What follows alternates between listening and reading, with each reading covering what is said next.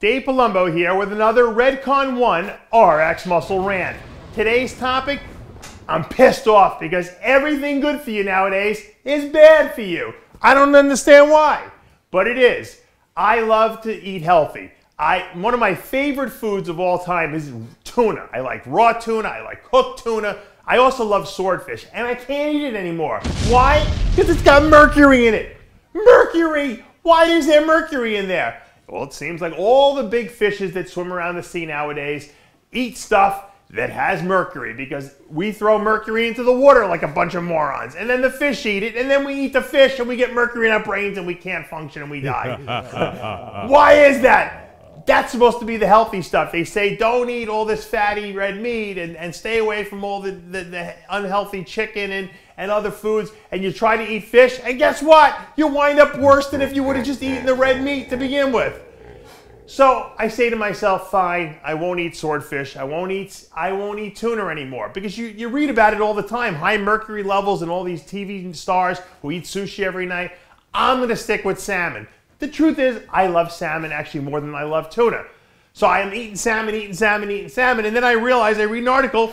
You got to be careful because you want to eat the wild caught salmon because the farm raised fish is fed fish food, which it's really not they feed these fishes, rather than what they eat in the wild, which is other fish and algae, they feed them corn. But they don't even feed them a corn based food from a container. They feed the chickens that. And then they take the chicken poops and they feed that to the fish. So your fish that you're eating, your farm raised fish, are eating chicken poop for food.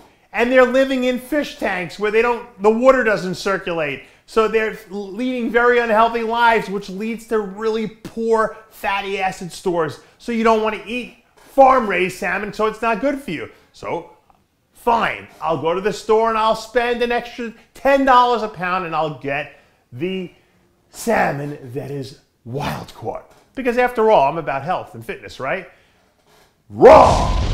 Because the wild caught salmon have PCBs in them polychlorinated biphenyl.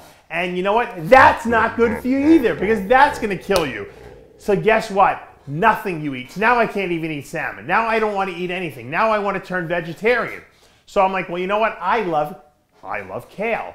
I love cabbage. I love broccoli. All this, all these, and I know these are superfood vegetables, right? Really good for you. Alkalinize the body. Are going to make me live a very long time.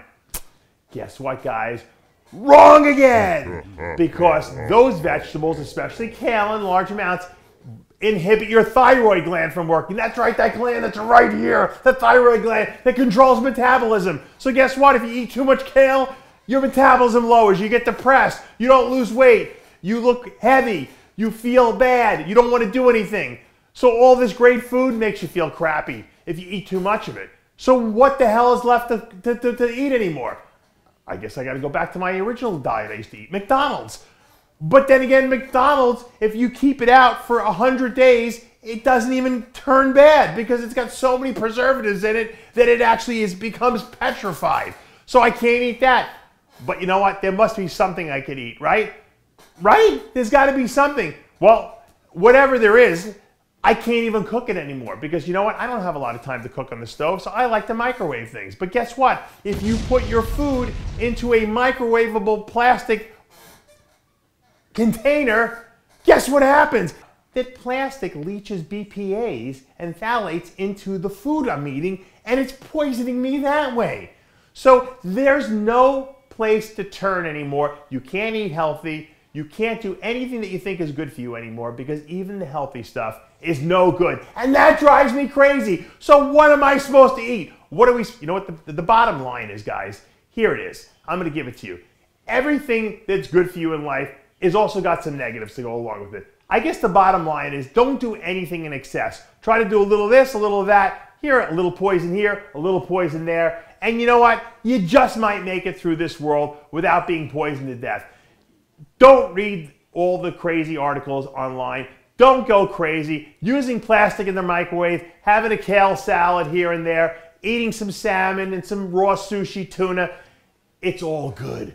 It's all good. You can't let this stuff drive you crazy. You know why? Because you won't eat anything. And then you'll become an anorexic and then you'll die anyway. And one more thing that's driving me nuts. This chair. It doesn't stop squeaking, squeaking, squeaking, squeaking.